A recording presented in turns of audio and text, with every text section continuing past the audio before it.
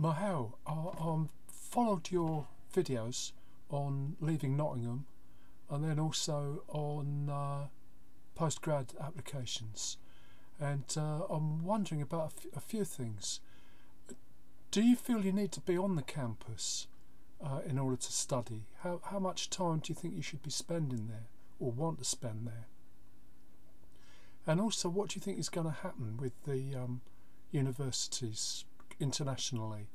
Um, and I can see you, you, you're possibly going to be a consultant, business consultant, and you want to study international topics. Um, because it seems to me there could be quite a big change happening with universities if a lot of it moves online. Is it okay for you uh, studying from home, completing your, your current course? Uh, but mostly, what, what do you think is going to happen with student accommodation? Are you going to sign on for a complete year of it? Or would you rather have one week in four or some other proportion? And how much uh, study online is is going to be popular?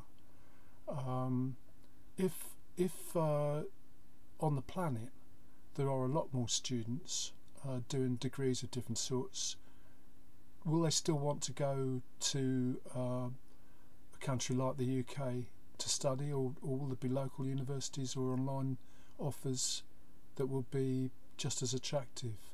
All, all of those kind of issues. What what sort of thoughts do you have in that area?